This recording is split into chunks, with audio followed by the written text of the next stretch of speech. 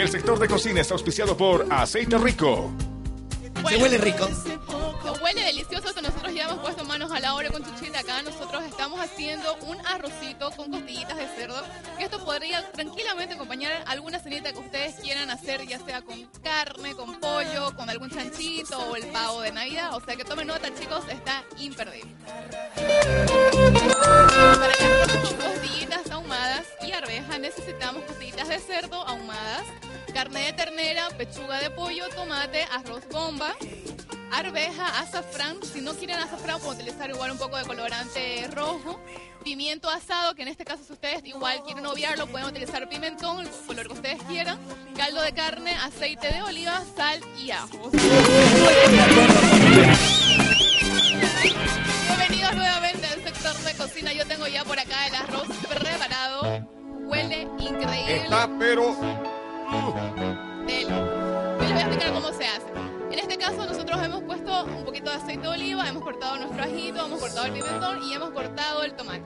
Eso lo hemos puesto a que se saltee un poquito, hemos puesto las carnes igual que están cortaditas en cuadraditos para que tomen un poquito de color y hemos puesto el arroz. Entonces eso lo hemos mezclado, hemos dejado de que se dore un poquito todo junto y a eso le hemos agregado un poquito de caldo de res.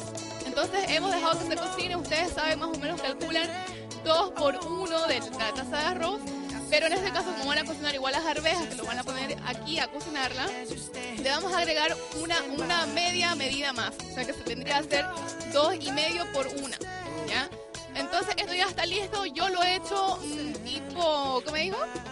Arroz batido. Como un arroz batido. Sí. Si ustedes quisieran hacerlo seco, pueden utilizar otra clase de arroz. O sea que también es la misma receta, solamente que ustedes cambian este arroz bomba por un arroz común. O sea, el, el bomba es como arroz corriente, digamos, ¿no? El bomba es el que utilizamos nosotros, por ejemplo, para hacer arroz con queso. Que Ah. uno lo bate, lo bate, ¿no ves? Y queda un poquito más pegajoso porque suelta todos los almidones y eso es lo que hace de que todo se espese. Bien. Entonces yo voy a servir, mientras tanto nos vamos a ir con sugerencias. Ya, Johnny, ya Abra No cadabra. esperamos, no esperamos ni que dijeran en Bueno, yo quiero que vean, miren, Wow. están las costillitas, está el pollo, está la carnecita por este lado de acá, las arvejas, Nicolcita. está esto increíble, o sea que espero que ustedes lo hagan en casa, esta fue la sugerencia de ahora. ¿Dónde están los conductores de pura vida? Aquí está.